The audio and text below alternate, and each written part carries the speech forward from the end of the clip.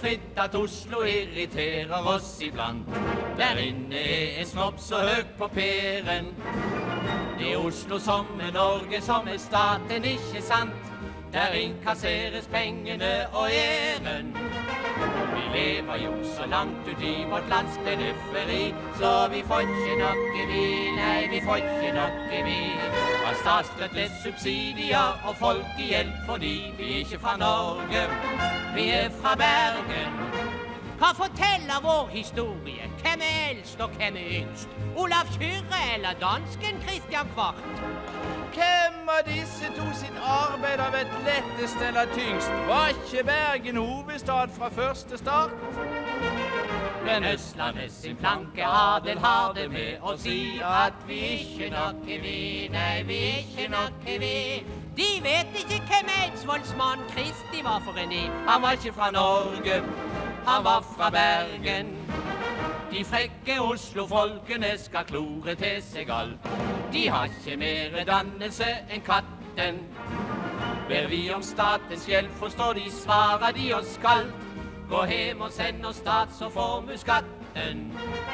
De flår jo hele Norges stats- og fattigkasse, de. Så vi får ikke noe vi, nei, vi får ikke noe vi.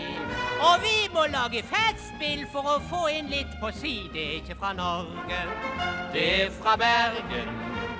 Og fotballsportens sentra, hvor er det? Naturligvis i Oslo og i Østfold, ikke sant? Ja, og østlandsklubbene, de tar jo alltid første pris. Men vi har slått de òg en gang iblant.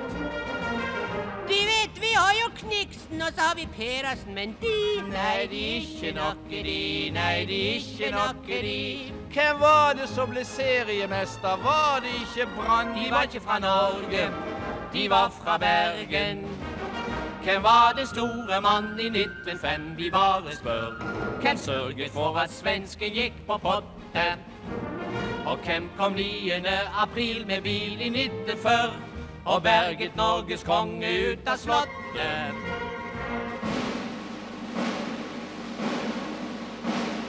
Hvor Mikkelsen og Hambro kom fra, nevner ikke vi. For de var ikke noe de, nei, de var ikke noe de.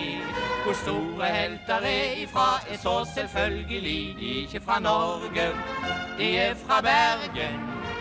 Og stortingspresidenten, sjølve rikets toppfigur, Nils Langhelle, hva skal vi si om han?